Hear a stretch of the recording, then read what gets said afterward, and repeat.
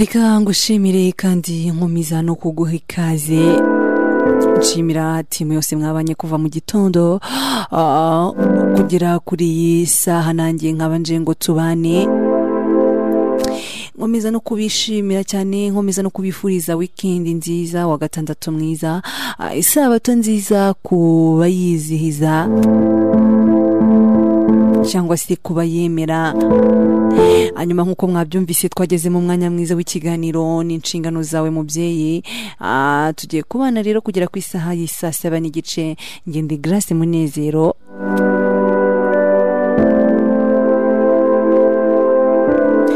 Mu kiganiro n'inshingano zawe mubyeyi. Aho tugenda turebera hamwe ibintu byinshi bigiye bitandukanye inshingano z'ababyeyi ese n'icyo umwana yakorerwa kugira ngo akure neza akura afite ubuzima buzima akura ari umwana wubaha ababyeyi ufite ikinyabupfura ubereye igihugu ubereye umubyeyi mbese ubereye isi muri rusange.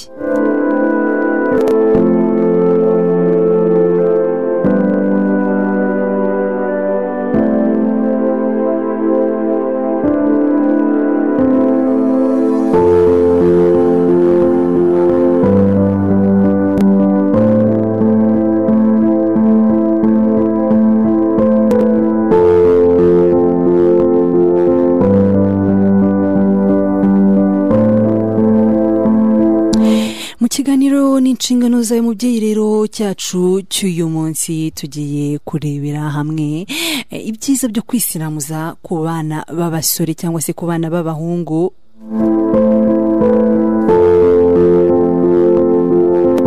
Nicyo inzobere zibivugamo ndetse n'ingaruka mbi zishobora kuba zaboneka rimwe na rimwe ngo ni izihe?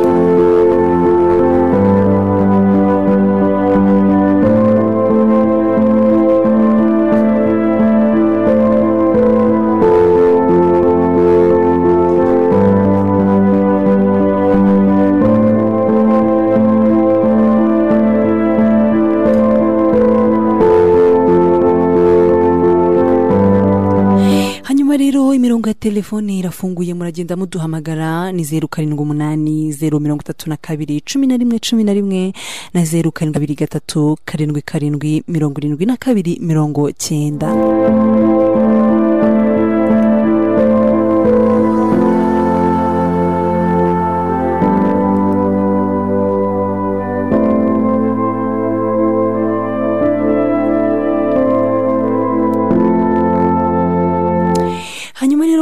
Kwisiramuza ni igikorwa gikorerwa umugabo cyangwa se umuhungu ah, aho bakura aga- agahu gatoya kaba gafashe imbere ah, kuri gitsina cyiwe hanyuma bishobora gukorerwa rero umwana ukivuka cyangwa se n'umugabo ukuze mu gihe atabikorewe akivuka.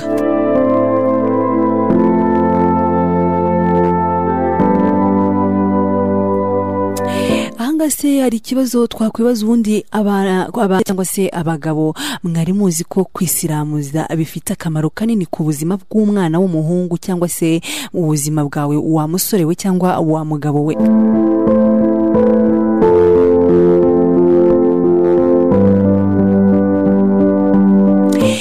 Rero hari n'ingaruka mbi eh, ushobora kugirira mu kwisiramuza abana benshi rero b'abahungu iyo bakivuka bakorerwa icyo gikorwa cyo kwisiramuza cyangwa se igikorwa cyo gusiramurwa bikaba rero bikorwa akiri ku bitaro. Mu bihugu byo hanze rero nko muri amerika haza ku isonga mu gusiramura abana bakivuka ah, kuko mirongo itandatu ku ijana by'abana b'abahungu bavuka bahita ah, basiramurwa. Naho ku isi hose mirongo itatu na gatatu ku ijana ah, ni byo bisiramurwa eh, ni- ni- ni bwo basiramurwa iyo bavutse.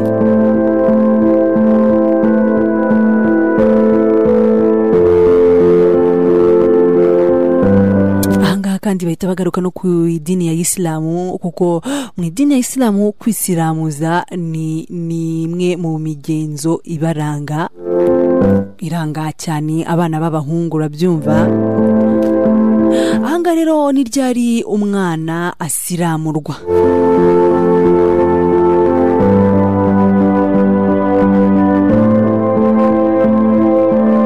Ubundi umwana w'umuhungu avutse iyo avutse asiramurwa hashize iminsi ibiri avutse. Iyo rero iminsi ibiri ishize igikorwa cyo gusiramura ubwo iyi minsi ibiri ishize ni bwo igikorwa cyo gusiramura umwana gikorwa.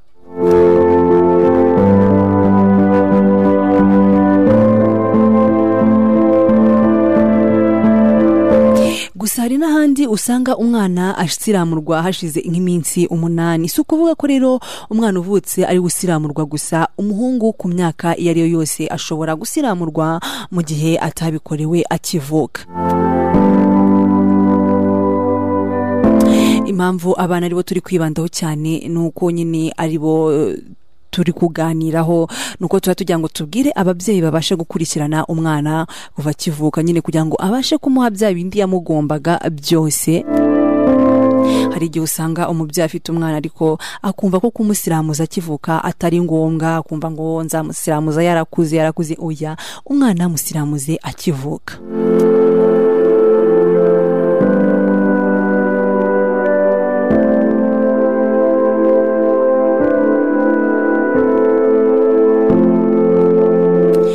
Inzobere rero zivuga ko kandi gusiramurwa bishobora kuzana ingaruka mbi ku mubiri wawe cyangwa se ku buzima bwawe. Izo ngaruka mbi rero harimo kuribwa cyangwa se uburibwe.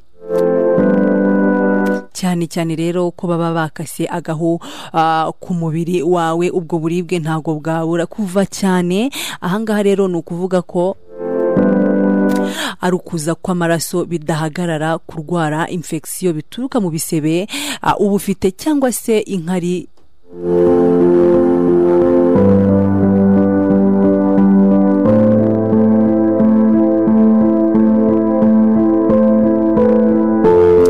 Ahangaha haza muri ro n'inkari kugukatwa nabi. Gusa rero izo ngaruka mbi akenshi ntizikunze kubaho iyo byitaweho neza. Kwisiramuza rero ni igikorwa kandi gikorwa kubera ko bizwi ko bigira ingaruka nziza ku buzima bwawe.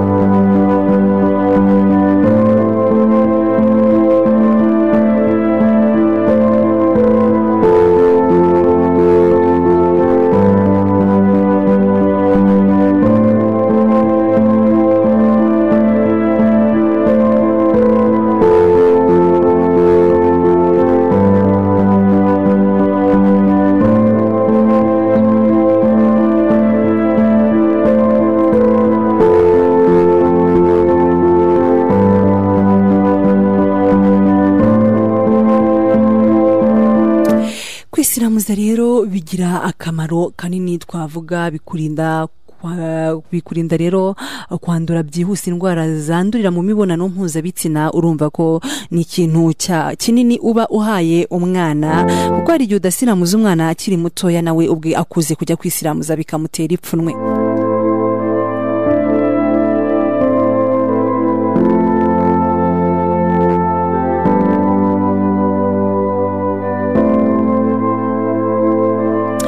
Ikindi kandi bavuga kwisiramuza birinda birinda umugabo buriya ngo umugabo wisiramuje cyangwa se umusore w'usiramuye bimurinda kwandura kanseri ifata ku gitsina gabo biba rero bigoye cyane kurusha utarisiramuje bituma kandi ata atandura vuba indwara zirimo ama infection aterwa n'inkari ndetse n'ibindi bigiye bitandukanye. Urabona iyo umuntu adasiramuye cyangwa se ndi kuvuga ku bana iyo umwana adasiramuye hari ukuntu ajya kwihagarika kuri toilette hanyuma ziriya nkari ntizishire neza ugasanga arazibitse. Iyo bikomeza izo nkari rero azibika muri ka gaho kaba karinze ku gitsina kiwe ni ho uzasanga umwana yarwaye infection bigasanga byakwiye ukibaza ngo umwana ibi bintu yabitewe n'iki? Nta kindi ni uko umwana utamusiramuje. Rero iyo myanda iragenda ikajya yibika yibika hanyuma bikazageraho bikaba bikaba indwara.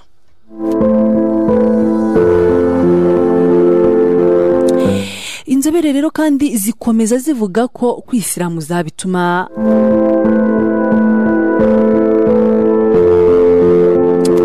azagira agira urugo ru- ru- rukomeye. Ubwo ni ukuvuga ngo umubyeyi ahangaha ni impano uba uri gukomeza ugenda uha umwana wawe hanyuma ibingibi bizamufasha rero no kuba yagira urugo rukomeye cyane. Kandi ngo abagore benshi badakunda abagabo batisiramuje. Ariko nyine urumva impamvu batabakunda ahanini ni uko ari ryo terambere tugezemo ubu ngubu kuko mbere bitaraza ntabwo bari bazi ngo ni biki ariko rero mubyeyi nagushishikariza gusiramuza umwana hakiri kare kuko urumva ko nawe bizamufasha no mu buzima bwiwe buri imbere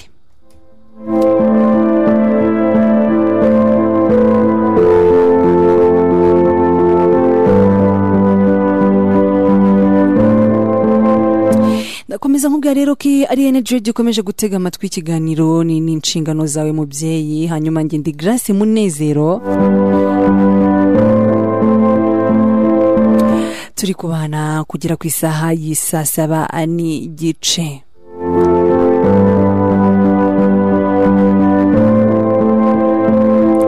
ahangaha rero hari ikibazo abantu bibaza akibaza ati se kwisiramuza bigira ingaruka kubyara kuba mu mibyarire y'umuntu?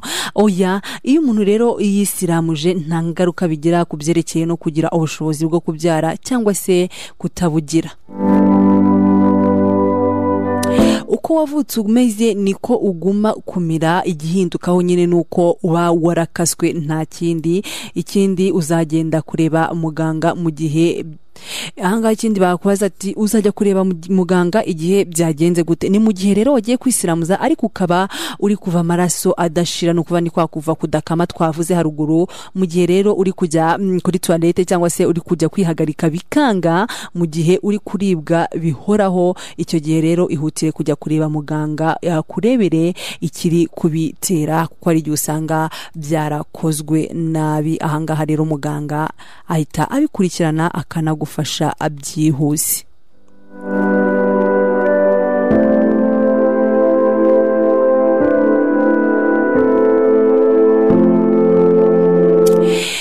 gusiramurwa rero ni igikorwa gisanzwe kandi kiri rusange ku bana b'abahungu cyane bakivuka. Hari ibyiza rero byo kwisiramuza nko kutandura indwara zandurira mu mibonano mpuzabitsina kutandura vuba kanseri.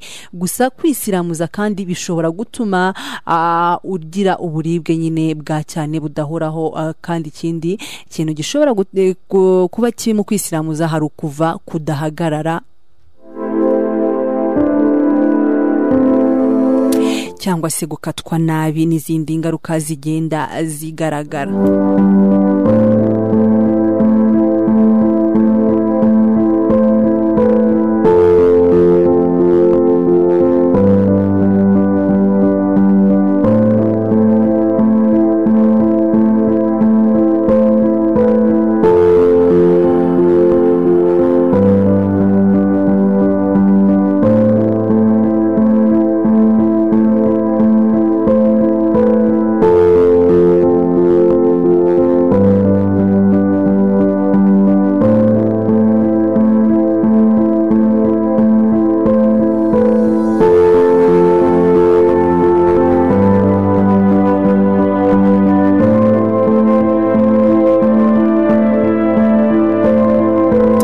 Hanyuma rero mbere yo kwisiramuza banza ugane muganga akugira inama akubwire niba ukwiye kwisiramuza cyangwa se udakwiye kwisiramuza ahangaha ni ku bana cyangwa se ni ku basore bamaze kuba bakuru.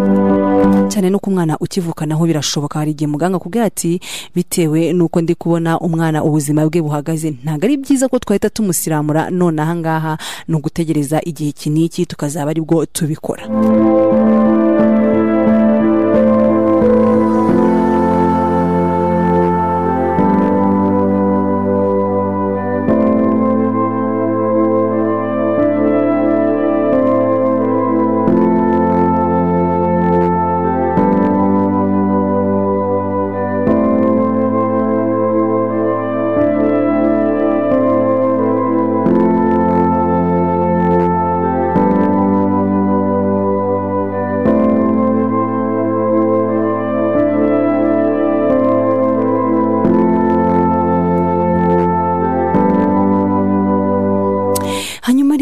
Rero imirongo ya telefoni irafunguye ndagenda mbakira mugende muduhamagara namwe mugire uruhare muri iki kiganiro. Ni zeru karindwi umunani zeru mirongo itatu na kabiri cumi na rimwe cumi na rimwe. Na zeru karindwi kabiri gatatu karindwi karindwi mirongo irindwi na kabiri mirongo cyenda munyarukire kandi no kuri paji yacu ya facebook ni energy radio umunani umunani akadomo umunani fm posite imaze kugeraho kare cyane maze uduhe ibitekerezo udukunde hanyuma unadukurikire ubundi ujye handikirwa ibitekerezo. Usigamo igitekerezo cyawe ibitekerezo byanyu byose ndaza kugenda mbyakira na yombi. Energy radio alo energy radio alo energy radio alo radio yagiye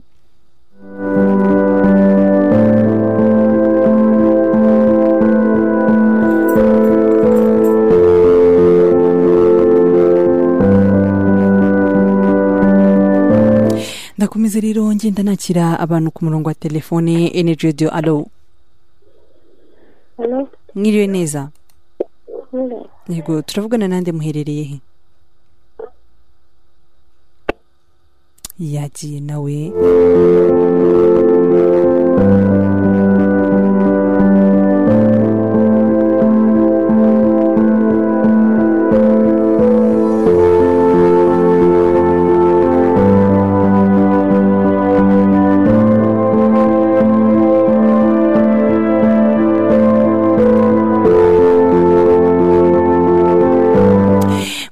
Rero kugenda mbakira ku murongo wa telefone ni hano hano mwiriwe neza?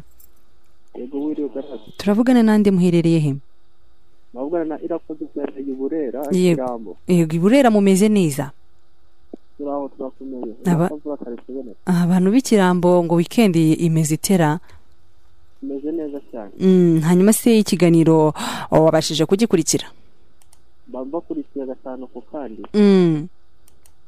Mba ma- mba mari namuhoraho urushinge aha urakoze cyane. Hanyuma wowe ah, ingingo twaganiriyeho uyu munsi yagufashije iki?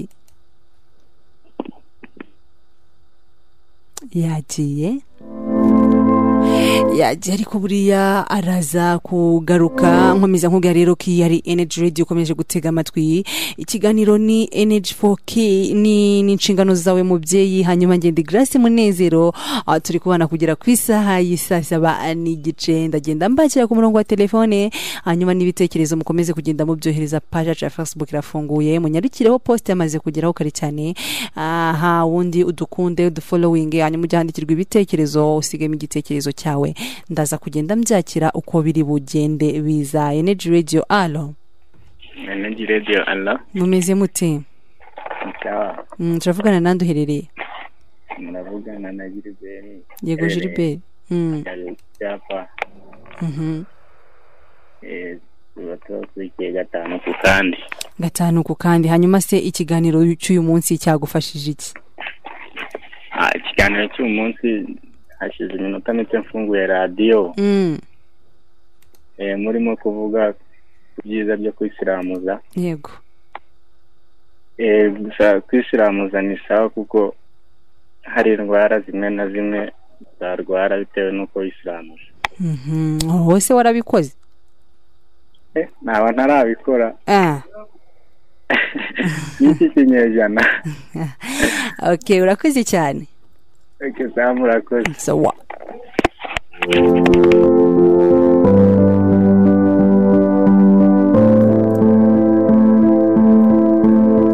ndakomeza rero ngenda mbakira ku murongo wa telefone hanyuma ah, mukanyandazamuka n'ibitekerezo byagiye biza kuri paji yacu ya facebook energy radio. Alo yagiye.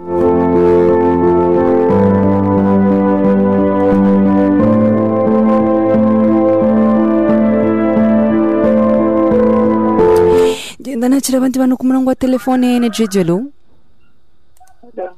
mwiriwe neza Dore neza karase Mm, mumeze muti. Tumeze neza ni gatonde tumeze neza. Mm, abantu b'igatonde murakomeye. Yewe turakomeye kandi tubakunda kubiri bose. Turavugana na bera uherereye i gatonde. Natwe turabakunda cyane ni ukuri ade Eh, noneho rero. Mm, nanjye nyine numvisheho gake ariko buriya ibintu byo kwisiramuza ni byiza cyane. Mhm, kuko hari n'abana benshi cyane ngewe nzi batinyaga bamwe mbagira inama yo kujya kwisiramuza mm. Eh, kandi bagewe rwose barabibakorera. Arega kariya gahu kabika ibintu byinshi. Kabika imyanda myinshi cyane. Eh, kabika imyanda myinshi cyane ugasanga urarwaye indwara zimwe na zimwe utazi ariko iyo buriya bagakebye bakagakuraho rwose. Kandi u- ugakurikirana n'inama za muganga ubundi iyo uvuye kwisiramuza hari inama baguha ukazikurikirana iyo uzikurikiranye rwose usanga ibintu biri kugenda neza agakira neza kandi nta burwayi mbese akunda guhura nabwo rwose. Buriya kwisiramuza ni ibintu byiza cyane pe. Murakoze cyane ubwo ubizi ubwo twizere ko n'abana bahiga tonde rwose muzakomeza kubibashishikariza n'ababyeyi bose. Nta nta kindi tugomba gukora tugomba kubashishikariza bakajyayo rwose kuko kwa muganga barabikora ku kigo nderabuzima Mm. hose no kuri hopitari nk'umuntu utari wajyayo rwose ngenda mugira inama yo kujyayo kandi abenshi bose mu gace ntuyemo abana barimo b'abahungu bose barisiramuje pe ibyo ni sawa cyane urakoze cyane. Baba turi kumwe garanda kwemera bwatari sawa nanjye ndabakunda. Sawa. Sawa.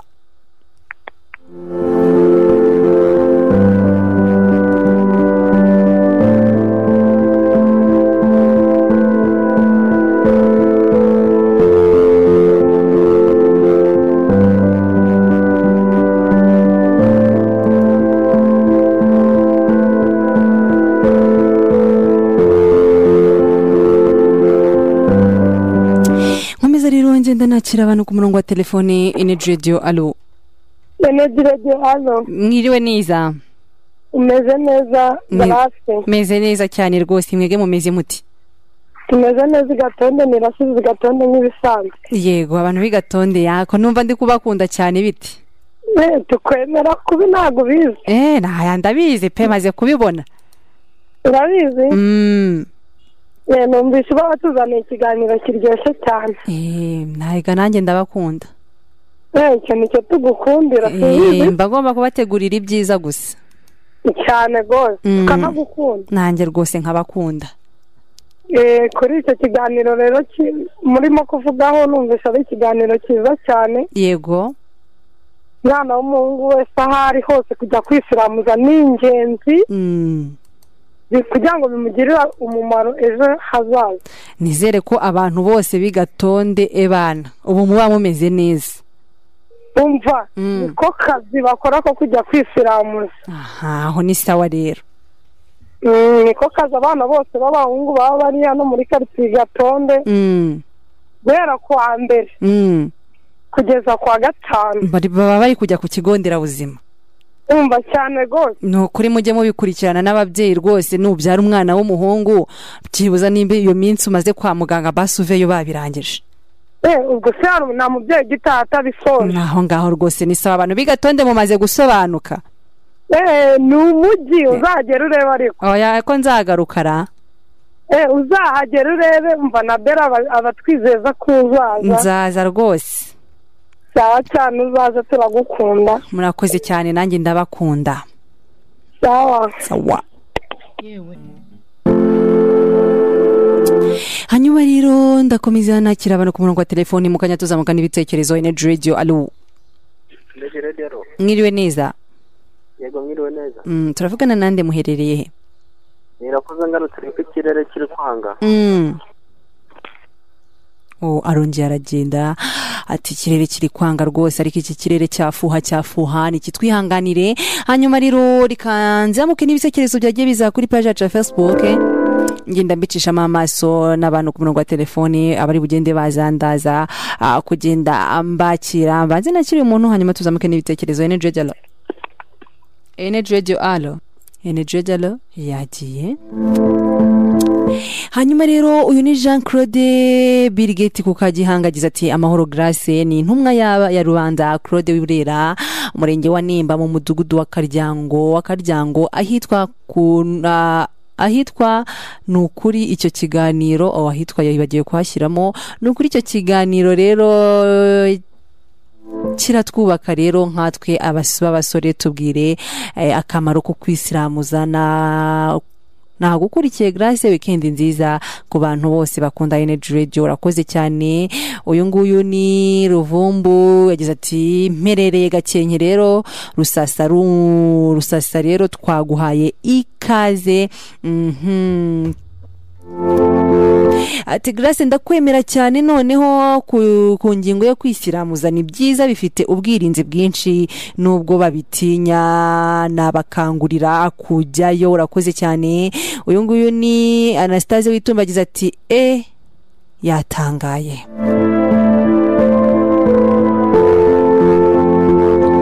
Profeseri Eric rero yagize ati turi kumwe rero hano mu murenge wa Cyabingo kwisiramuza ni byiza cyane urakoze cyane. Josue Ishimwe yagize ati mwiriwe neza Energy Radio. Nk'ibisanzwe rero ni umukunzi wanyu w'akadasohoka Josue rero w'ikibangu i Muhanga. Ngewe nzi ko kwisiramuza byongera amahirwe yo ku yo yo kutandura ibirinda indwara kandi Mhm, birinda indwara za hato na hato. Urakoze cyane josue. Nawe ni romeo rero inosa agize ati ndi, nizeye muri bisate. Naho rero kwisiramuza ni ingenzi. Birinda indwara nyinshi zandurira mu mibonano mpuzabitsina kandi birinda mirongo itandatu ku ijana. Eh, birinda mirongo itandatu ku ijana. Urakoze cyane rwose nawe.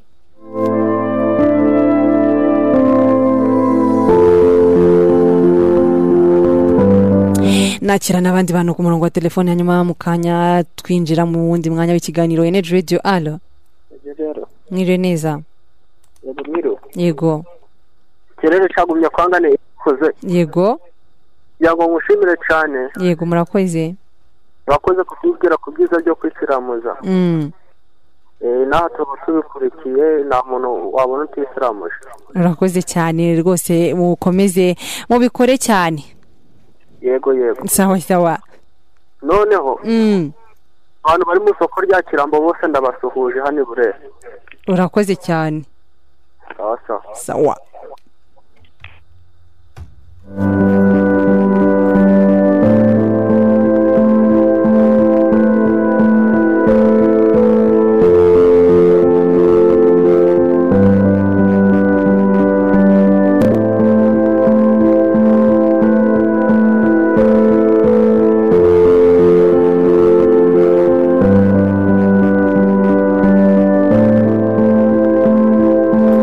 Nakira rero undi muntu ku murongo wa telefone tugana no ku musozo wa energy radio alo energy radio alo mwiriwe neza. Muravugana n'umupagasi kumukura yego. Icyo kiganiro ni cyiza kwisiramuza ni byiza ni ingenzi. Mm, kuko eh, biturinda ziriya ndwara zandurira mu mibonano mpuzabitsina. Eh, urakoze cyane. Eh, nizere ko aho iwanyu rwose mwabihagurukiye. Umva yewe cyane cyane rwose. Murakoze cyane. Urubyiruko rurabyitabira cyane. Mm, n'ababyeyi mujye mubyitabira mu- mushishikarize mubikorere abana bakiri batoya. Tugomba kuba ku- kubibashishikariza rwose. Eh, murakoze cyane. Sawa. Sawa.